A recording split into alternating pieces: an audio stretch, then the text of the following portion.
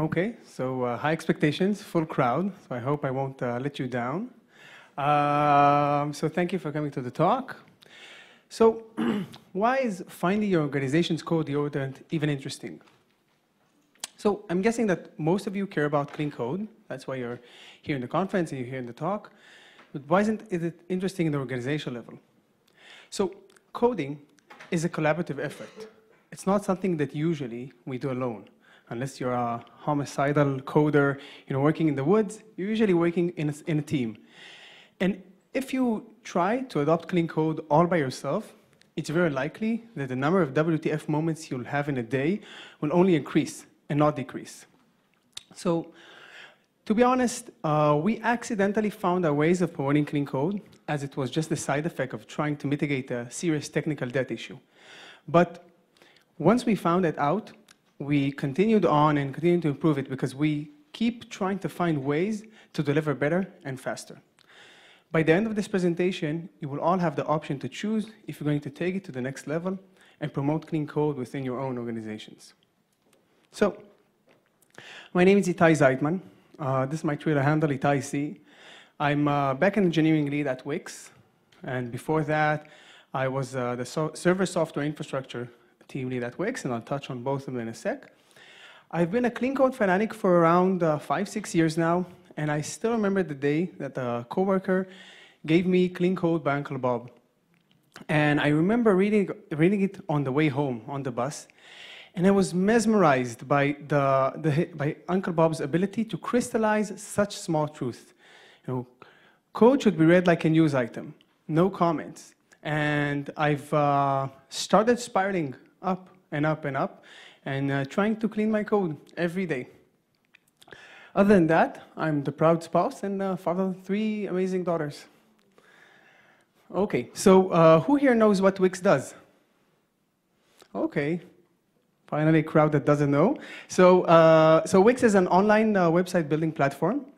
We're home to over 92 million users. Uh, we, we're around 1,300 employees, we have around 50, uh, 500 developers. Wix's server uh, production topology is, is somewhat eclectic. You can find like a one Erlang service and two no Go and uh, some Python and some Ruby, but that's not our main bread and butter. Our main bread and butter is the JVM, mainly Scala. We have some legacy Java. We have around 250 microservices and around 120 backend developers. We also have around 40 Node um, microservices, but those are really fresh and you're start only starting to get traction. Why is this relevant? This is relevant because this is the group, those 120 developers is the, the, the, the experiment group, the group that uh, basically went through this transformation. Now, all of this is powered by a common infrastructure, what we call Wix Server Infra. And that is based on some open source framework. You, you all know them, Jetty, Spring, Jackson, and so on and so on. Uh, our own internal framework based on top of that, and a lot of libraries. Just to give you a small sense of what this means, this handles RPC, it handles test infrastructure, monitoring, security, service lifecycle, BI, and a host of other things. Uh, this these are around 15, I think today even maybe 25 libraries. And our GitHub repo has around 99 contributors. Maybe it turned into 100 since the last time I edited this slide. Why is this important? It's important because the code base that I was responsible for is this code base. And it's code base that people read in, read day in and day out. And they contribute to it, and they use it. So this is a great opportunity to get, to get people engaged. So our story is from the middle of my journey. And the context is legions of developers asking for features and uh, for changes and for bug fixes from all of these libraries, which were riddled with te technical debt. And I'm maintaining those all by myself. So my manager and I try to think, how can this be sustainable? Both for me, so I won't get worn down and wear out and just leave Wix because, you know, there is a, a limit to how, how much you can work uh, nights and weekends. And for the, the developers so that they will actually get their features. And we decided that if you need a feature, you are asked to contribute it. So unless it's really critical in time or in the, or in the core, we ask you to contribute or have it enter the backlog, and it will come out when, we, when, we have the, when I have the capacity. Now, that really uh, got a lot of backlashes, but that's the topic of another, another talk. So we started that, and it had its ups and downs. And one day, a junior developer needed a feature. And he was requested to contribute, just like everyone else.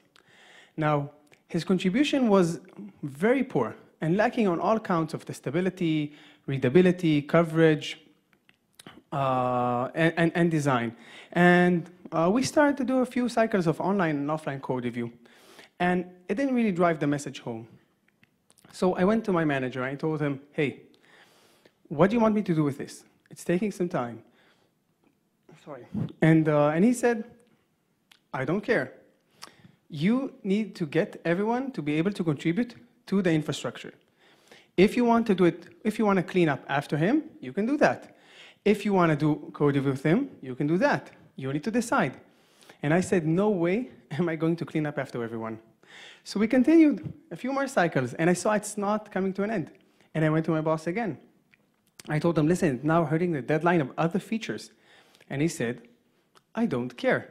Everyone has to be able to contribute. You find a way. And we continued.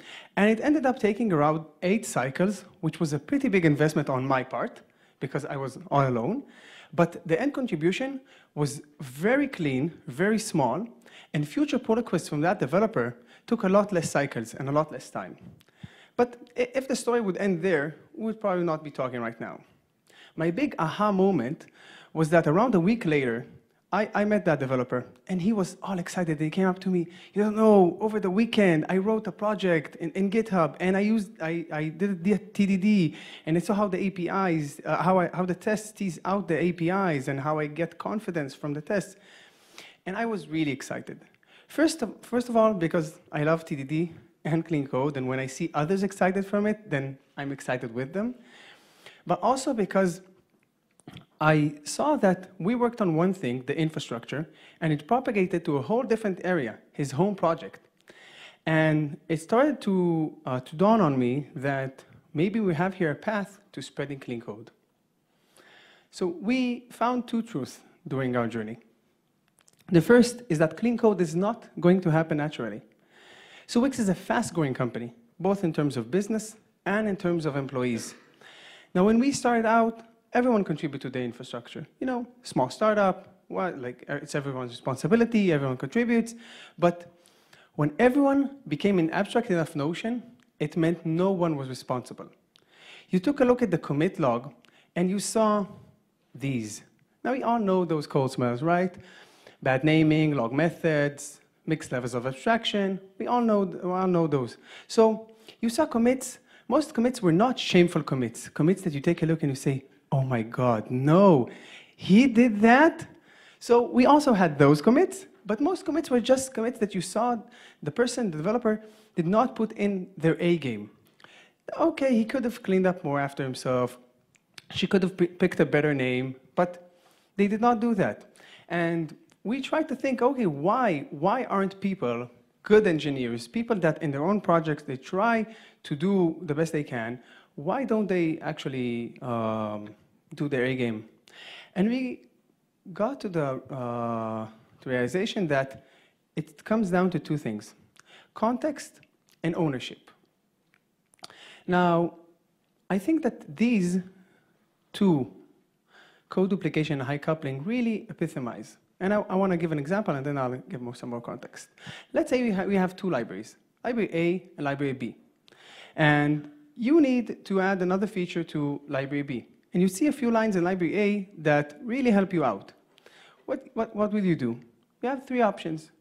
First option is to copy those few lines from library A to library B, add whatever you need to do, and be done with it. But then we have code duplication. And someone, maybe you, probably not you, will have to fix the bugs, the bug into both places. Other option is to say, okay, let's have library B depend on library A right? But then we have high coupling because library B doesn't really need library A. Or you have a third option. You can, you can try and understand what is the common abstraction there, extract the library C, give it a proper name, and have A and B use that. But to do that, you need context. You need to do what, you need to understand what library A does, what library B does, and what is the shared abstraction of C.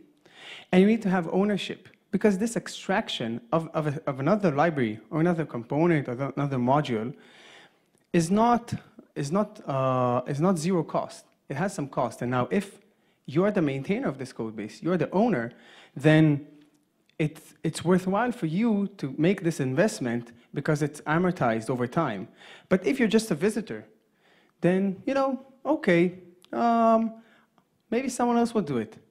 Because when you, whenever you go into a code base and you go in, you know, once a few, every few months, then the bad code you see is usually someone else's. It's not yours.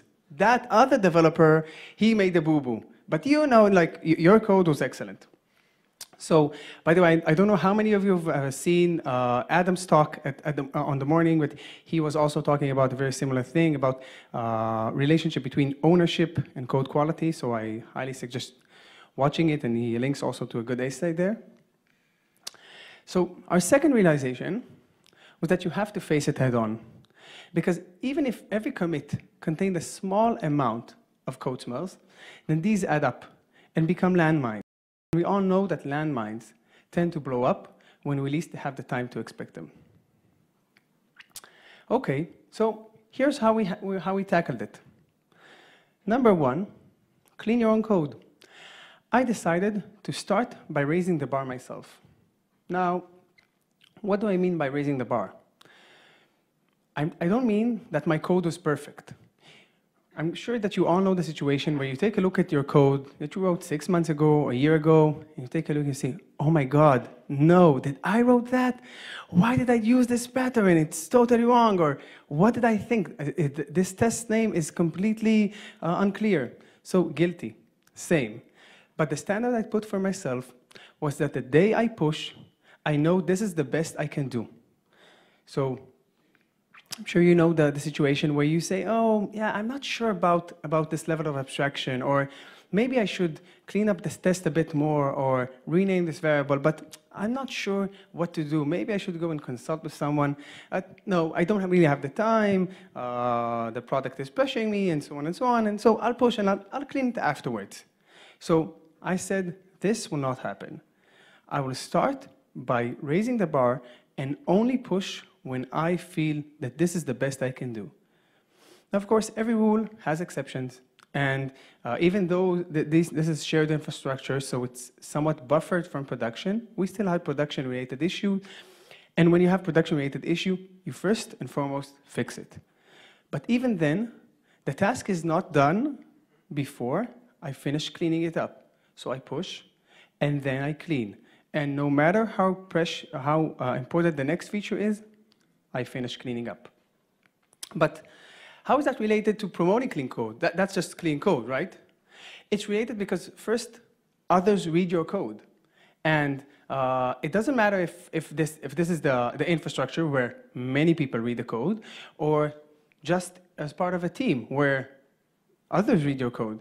Because they start to see what's the standard that you put for yourself, and they start to implicitly understand what you expect of them it, the, you, you start to actually put mirrors in the code. And when someone sees that you've cleaned up after them, he says, oh, yeah, that is the variable name that I was expecting. Or, oh my God, this cleanup? Interesting, I never saw this pattern. So you start basically uh, removing the landmines and putting in small signs of, hey, hey, this is clean, and people start taking notice. More importantly, you walk the talk you can't expect to mentor or to code review or to pair with someone and lecture them about this and that without actually doing it. When I do a code review for someone and I tell them, hey, why do you have this code duplication? And they tell me, what? One line. Wow, are you really talking to me about one line? And I can tell them, hey, go to look at this place and see how, when I extracted that one line from the two places, then it actually uh, gave a, uh, another level of abstraction. And take a look at the other place where I fixed a bug in both places and, uh, and, and I extracted the one line. And you can also take a look at the third place where I did not extract that duplication because it, the abstraction wasn't clear. So I waited for the third occurrence. When you actually do it, you are able to have a more educated discussion about code and not only about beliefs. So, okay, we did that, but like I told you, dirty code contributions still kept coming in. So we understood that we have to harness the contributions. But we saw three things. The first is that if it's not clean before the push, it will never be clean.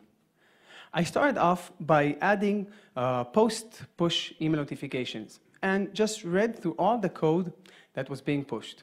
And I, I, went, I went to people and I told them, hey, I saw that you uh, added this and this. Thanks, amazing. Uh, what do you think about doing just this small change and maybe adding that, uh, that test? And people were very, very receptive, but they never had the time because they were always busy with their next feature. So I understood that I have to be the gatekeeper of good contributions. I closed off pushes to master and moved to, to pull requests. Now, that stored up a hornet's because people were very, very upset from saying, hey, uh, what you think you're much a better programmer than, my, than, than, I am and you don't want my, my contribution, or people saying you, you think that your code base is so pristine and uh, you, don't want, you don't want me to litter your code base. And it, it, it took a process. It took a process to explain to people why are we doing it. Explain to them that it's not, it's not a, uh, a control issue, but it's actually uh, trying to keep us afloat. Now, it will be funny to, to, to hear to some people, but the first and foremost was to explain to people how to technically work with it, how to do, how to do pull requests from the command line, from, from IntelliJ, from, uh, from the UI. What do I need to do if I, uh, if, if, I, if I get uh, comments? How can I add to the pull request? Note, you can just push to the branch, but people did not know that, right? Well, before GitHub uh, introduced uh, uh, squashing, then we had to explain to people how do you squash on the branch so that will not get your filthy 15 commits. But only to do that uh, after we do the, the code review. Now, you know, these sound trivial, but when you change someone's tool set, you need to lend them a hand. You want to lower the entry barrier so it will be easier for them to understand that it's not just you playing control games, but, uh, but, but there is a higher value. And for that, you are also uh, willing to put in the effort. But even, even uh, uh, uh in the face of this significance, like always, the big problem was people, okay? And this took a, took a process of talking to people, explain to them that it's not that I think I'm a better developer, but I am the owner of the code base, like they are the owner of their code base, and that I will not come and start pushing a lot of code into their code base without talking to them. That it's not that the code base is pristine, other, uh, but on the contrary, it's so dirty that we can't have yet more uh, mess in there. So we have to close it off.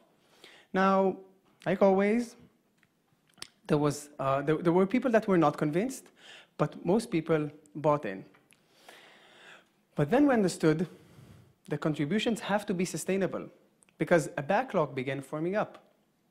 Now, first of all, for you, because if you keep eight, 10 iterations on a pull request per developer over time, you will not get any work done.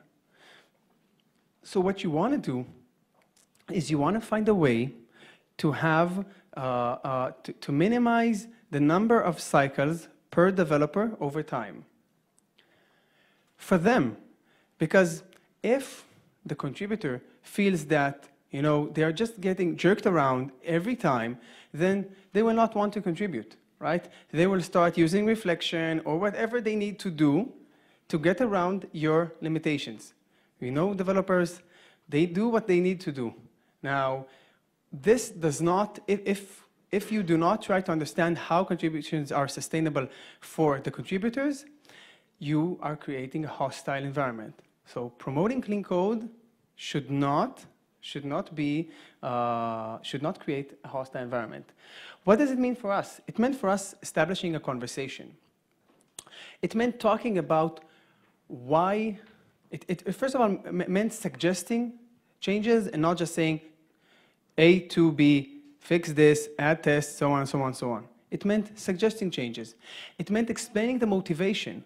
Hey, do you see that if you rename this variable to this variable, it actually clarifies the, the abstraction or the responsibility of this code.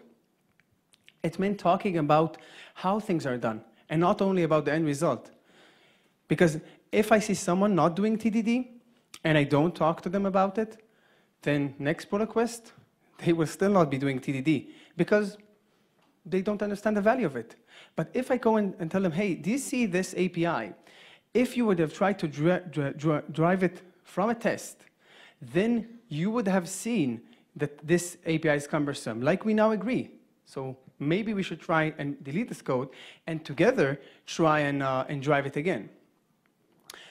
Most importantly, it meant allowing a conversation so that both the reviewer and the contributor feel content. The reviewer has to feel content because um, it's their code base. After all, they will be the one waking up when there is a problem, fixing and cleaning over time. And you have to remember, it's not open source. 99% of these contributions will get in because they have, they have a real uh, need and it's not imaginary and people need to advance. The contributor has to feel content because otherwise they will not come back and you will leave, you, you, you, you will basically deplete your organizational credit.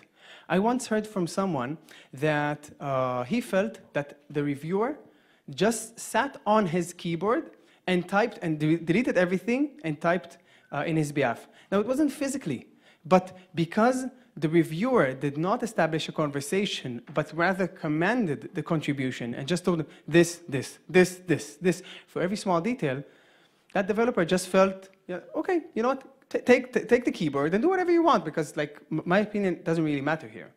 And that is not the mindset that you want people to have. So in order to, to help people understand what constitutes a good contribution, we try to identify some key elements. Number one, less is more. So for us, it meant that the contribution should help several projects. If you just have a cool feature that you think will be awesome for the infra, please don't contribute. If you have something that, hey, yeah, this is technical, it's not related to my business logic, uh, let's, let's put it in the infra. Please keep it in your own project. Or convince others that they actually need your code and they don't understand. This is what's called duplication of the second degree, right? It's not the same code, but it solves the same problem. This is awesome. I once had a, a, developer came up to me and tell me, hey, I need this, uh, this and this, uh, I have this, this utility, and I think it, uh, it, it, should be common. I told him, no one talked to me about it. I'm not sure that uh, it's actually common. And he told me, I'm telling you, people need it. I told him, you know what? Awesome. Please go and find other use cases and, and convince people that your solution actually helps them. And he went and found a couple of people, a couple of projects that already have similar uh, implementations. Two had, and one was about to write. And he generalized his solution and contributed it. And that was amazing because it removed code duplication and helped a new project not waste time.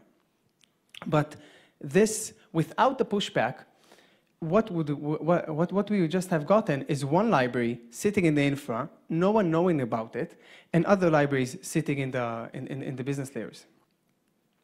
Number two, you ain't gonna need it. that the contribution should get in, contribute the least code possible, and add features later. We all know those 15 amazing features that no one will actually use, but hey, it's generic. This is what we need. And then when you go six months later, a year later, and you want to remove a method, or you want to change the behavior, you, you're not sure what's happening. Can I change it? What will happen? So we ask, please, let's only contribute what we know we need and add other features later.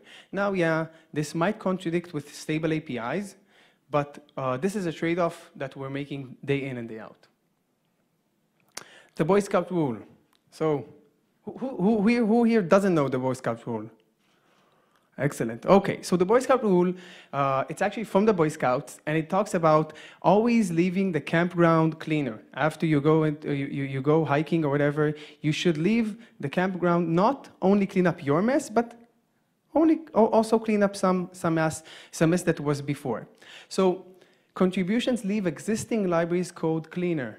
Now this talks about local changes, okay? I've had people refactor the whole library. They just rewrite it. Yes, okay, it was messy. Here is the new library. But now you don't actually understand what's happening there.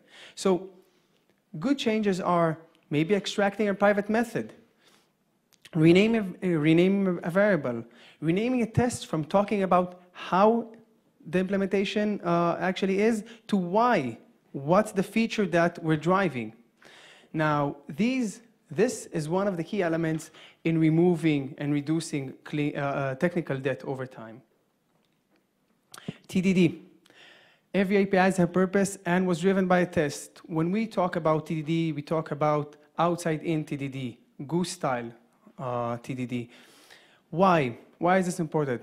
First of all, because we want to know why things were driven, why Okay, if you have a lot of code that not, nothing uses, can you remove it? What will happen if you remove it? You don't know. Second of all, we want the, the design not to come from your imaginaries, uh, you know, uh, from, from your dreams, because of course you are amazing developers, but the other person that will contribute without test, they will just write a, a, a, a bad API. So we want this to be driven by a test. Now, Wix is uh, very loose, and there are very few things that people have to do. So, uh, although the vast majority of people in the backend engineering do TDD, some people don't. So even then, we require regression confidence. This means that we have to have 100% confidence or we won't accept your, your pull request. Now for us, uh, we, we saw that for a mid-size contribution and up, it's not, it, it's, it's very unlikely for this to happen uh, if it wasn't driven by TDD. But we're always open to the discussion, so um, you know, we take it on, on a case-by-case -case basis. And by the way, if, if, you're wondering, after you, you do TDD enough, you, it's very easy to know when a code was driven by tests or not, when they were tacked on afterwards. Again, I'm not talking about five lines and, you know, into tests. I'm talking about a more significant contribution. Okay, this slide is so important that I wanted to put here all the key contributions. And I'll take a few seconds for you to tweet it out, send it to your coworkers. This is how to get started with uh, key contributions.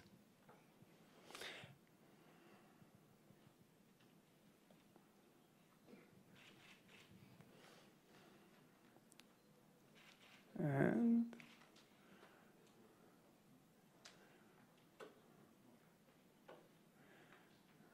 up, one last.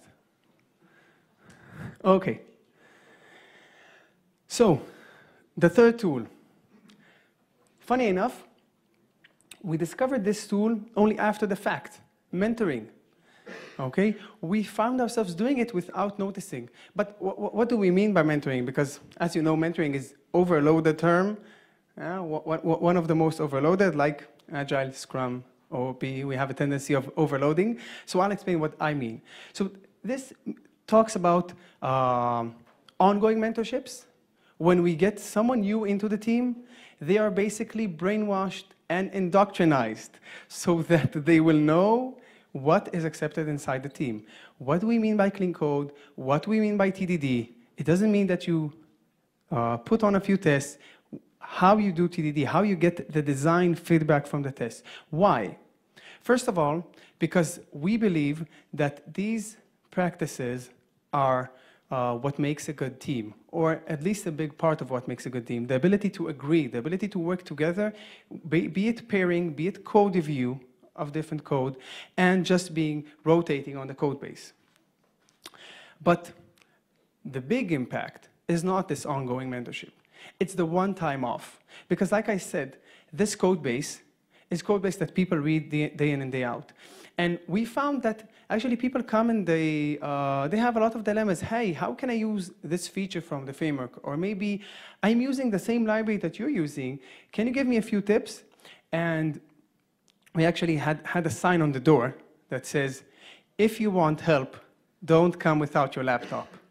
And people started coming with the laptops, and that enabled mentorship, which is one time off and about the code okay? Because you first and foremost help the person with uh, whatever they need, right? It's not, it's not only wasting their time. It's getting them the value that they need, but then also asking them a, a small question. Hey, why, why is this test uh, um, named like this is? Do you understand what, what, what's the business value? Because I don't understand. Or what do you think about actually moving this duplication? And um, when you try to explain to people, and do it with them. So actually tell them, hey, what do you think about renaming this test? And just pairing with them for 10 minutes, 5 minutes, 30 minutes. This goes a long way into getting buy-in, into getting people to feel that it's not only your pristine code base that you care about, but also their code base, also the engineering of the whole organization. Okay, but the question arises, did we have to use the infra to promote clean code? A friend came to me and said, you know what, you're just bullshitting. Basically, uh, the infra team has the best developers, and that's why, uh, th that's why you promote clean code. And I had to think about it. Is he actually correct? And my answer was that he, he was mistaken. Now, of course, to work on the infra and to write the infra, you have to have used a few libraries. So the ratio of seasoned developers inside that team is very, very high. But those seasoned developers are just the seasoned developers that we have in other teams. Only those also have some juniors and some mid. The real change was that we decided that uh, we will be measuring ourselves according to the cleanliness of our code and the cleanliness of code that uh, people use from us. The cleanliness of, uh, and, and, and the discussion that we will have with people. Now, yes, this specifically, because we put it in, on such a high priority, and it took a lot of time from the team, required management's backing. But there are various ways to do it. So how can you take it from here? So first of all, face it head on. Understand that you have a problem. Second, make it a priority. This will not be solved if you do a code retreat once a year and talk to people about cleaning the code. Or, you know, every quarter doing some retrospective and saying, hey, why don't we have enough test coverage? No, this has to be a priority. Now, priority doesn't mean that that's what you do. We deliver. That's first and foremost, we deliver value to our customers. But we also balance this because this, for us, is our ability to deliver value over time. The third thing is to find your own tools. For us, it meant cleaning your own code, it meant harnessing contributions, and mentorship. Questions?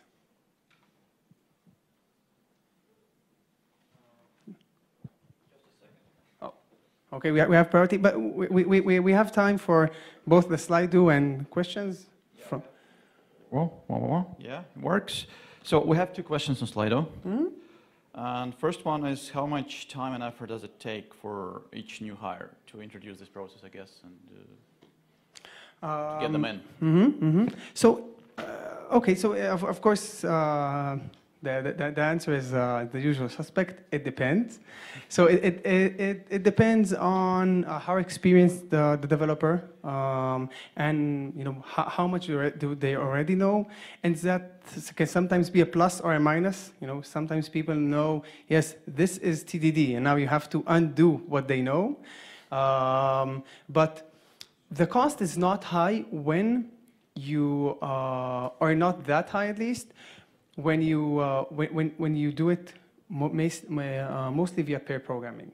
So when you do it via pair programming and via code review, so you tell the person, hey, this task, assume that it will take you time and assume that we might be uh, deleting most of the code each day. Okay, most of the new code might be deleted each day, but that is not because uh, you are incompetent, but this, this is the way we basically pay for your training.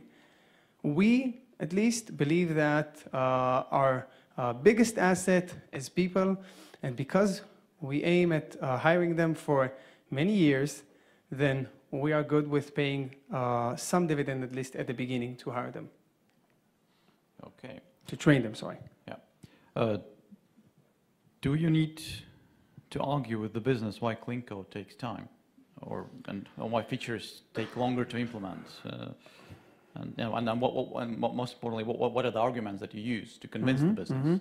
So first of all, who, who here knows uh, Uncle Bob's uh, argument about uh, doctors and uh, washing their hands? Okay, very few people. So, so I'll, I'll reiterate. Um, you know, Uncle Bob says that, okay, would you, would you rather uh, your doctor to say, oh, I don't have to, I, I, do, I don't have time to wash the hands, I have to go into surgery. No, you want them to wash their hands, right? So uh, very similarly, there are things that are not part of the discussion with the business and with respect to the fact that clean code is the way you need to perform your, your profession. Now, this is of course somewhat of a, uh, of, of, of you know, broad stroke. In the finer details, we, around five or six years ago, we, uh, we took three months to cut a release, and then three months to stabilize it on production, okay? Each release demanded a war room and people losing, losing sleep. And this was a very, very bad uh, time for us. And the chief architect went, went to, to management and told them, do you want uh, the ability to uh, deliver endless stream of features into production? And they said, yes. And then he told them, okay, do you want the ability to react to market changes? And they told me, yes. And he said, okay, then what we need to do is we need to, to be able to continuously deliver. To do that, we need to have high confidence about the code. That is, that is very simple. We need to be able to know, automatically know that the code works. And for that, we need to do TDD. That's it. The reason, the reason that we're doing clean code and TDD is not because we are philosophers that love to clean the code. It's because we see the business value of clean code and TDD, and we have expressed it, and management sees it. Okay, Wix now changes production 100 times a day. Three months, 100 times a day. Okay? We had less than 2% of rollbacks. Uh, production changes is not only deployment, it's also feature toggles, A-B tests, which actually means, you know, um, also code, code branches uh, being activated. Uh, 2015, we had less than 2% of rollbacks. So we had very, very little DOAs. That's because we have a high confidence rate about our code. Okay, that's cool. uh, question, and then the next question is, is anyone review, reviewing your pull requests, or are you just pushing directly to, to master? Good question, good question. So, uh, so when I started out, I was alone, and no one, uh, no one reviewed it. I like uh, very seldomly I, I went to people, you know, and, and basically dragged them in and told them, hey, can you please look at my code? I'm not sure, I want some opinion. Uh, but it was hard because, like I said, they don't have the context. Uh, when the team grew, because it took us a lot of time. It took me a year to recruit, because as you know, recruiting is hard, finding good people is hard. By the way, we are hiring in Lithuania. If you want to relocate, talk to me afterwards. Uh, but uh, definitely, when we when uh, we moved, then we started reviewing. So, but that was uh, on an opt-in level, and a, a, bit before I left the team, then we actually started doing a code review for all code that was going in. But In general at Wix, I can't say code review is, is mandatory. So I would say around a quarter of the teams do it. That's around it. Okay. Uh, yeah, next question is how do you resolve problems if new developer doesn't agree on some code, clean code principles? Like, for example, he wants to write a lot of commands, I don't know. Um, okay, so, so in, in, in, general, we, like I said, we're very loose. We believe that most things need to be uh, agreed on on the team level. So uh, we, we, we have, uh, we have uh, cross-functional teams, okay, we call them companies, and they are like small startups. Now, um, that group of people needs to agree, okay? This is their home, this is their communal home you have to you have you have to you have to agree and you would you you should spend hours if if you disagree. If um, and and, and uh, so if the disagreement is within the team then usually what we say to the person is okay you know if, if like of course we, we, we discuss and discuss and there's no agreement then we tell them okay please take the time try how we work, and let's talk about it again in two weeks, in two, uh, two weeks, in four weeks, and then we can talk about actual facts. You can, you can say, hey, you know that you dro drove this feature via TDD, and what, now we pay for that, and ta ta ta ta ta. So he might actually change the team. But uh, if there is no agreement, then that person is, is required to, to align. If we're talking about between teams, it's very simple. This is my house. Please obey my rules. Okay, next question. Uh, how do you actually do the code review? Is it happening remotely or do you do it in person? Uh, uh both. So uh, we, we're distributed. We have offices in, uh, in Israel, in Tel Aviv and Beersheba, and in Lithuania and in uh, Ukraine, in Kiev and Dnipro. So it, it depends. Um, it, it, it, so we basically mix and match. Um, we, we think that there is a lot of value in offline code review, but um, but also, like, the big value in online code review is that people can uh, respond more clearly, okay? They don't have to now feel like they are uh, blamed and you know the, the person sits next to them and why, why did you do this, why did you do that?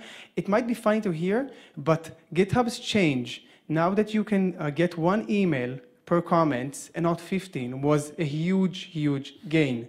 Because when people got 15 emails, per the changes, they, they felt attacked.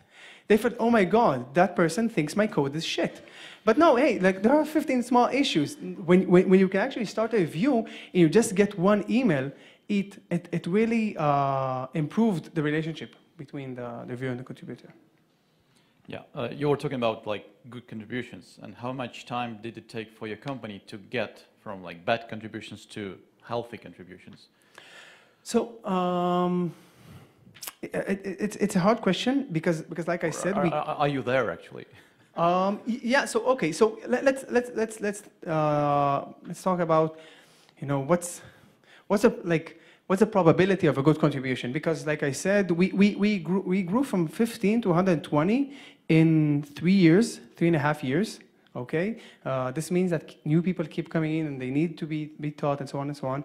Um, most, I would say, I don't know, like 70%, 70% of contributions uh, come in, in, in, a good shape, in a shape that you, like, that the, the conversation is, um, um, you know, is about like the, the last 10% and not about, oh my God, I don't believe I now have to review this code.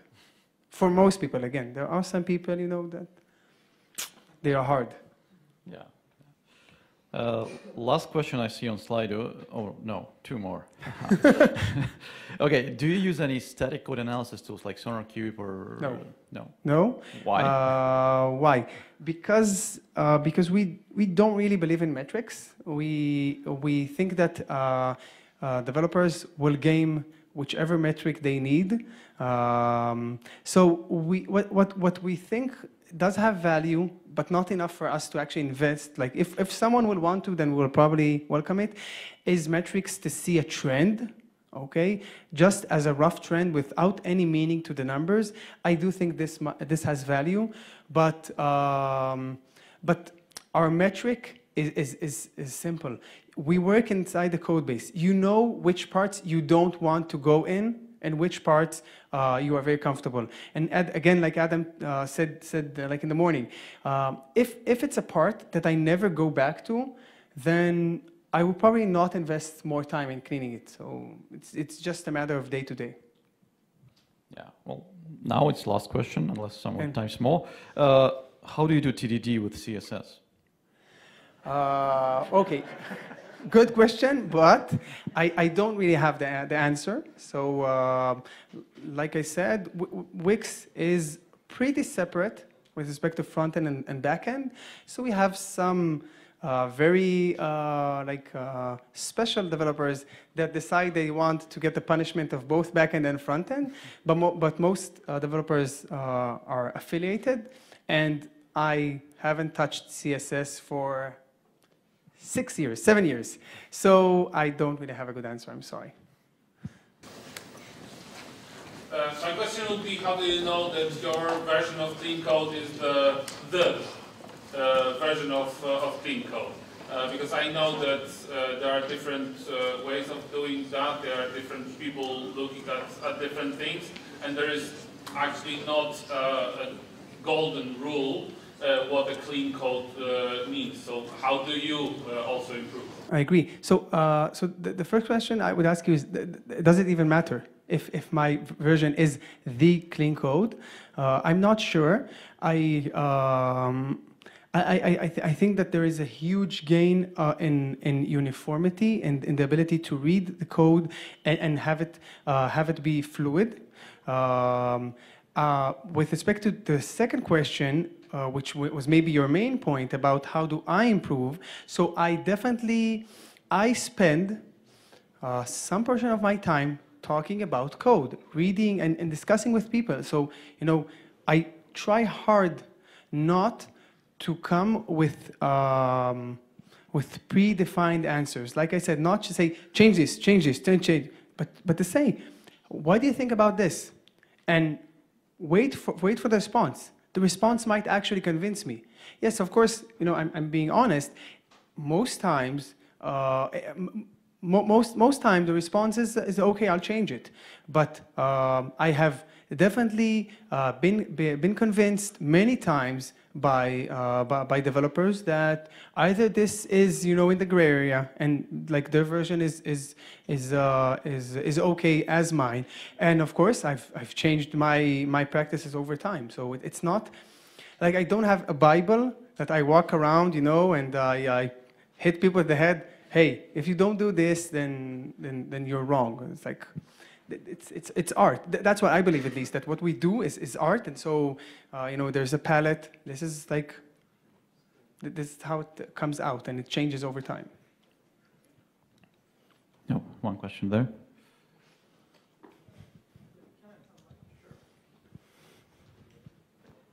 Okay, speaking about your personal time, you have just a bit touched that topic. So um, how much time do you, did you start to spend uh, starting from this initiative of uh, pull requests?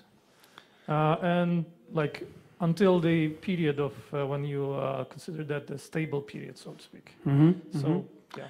Um, so, okay, so um, I, I would say that at the beginning it was,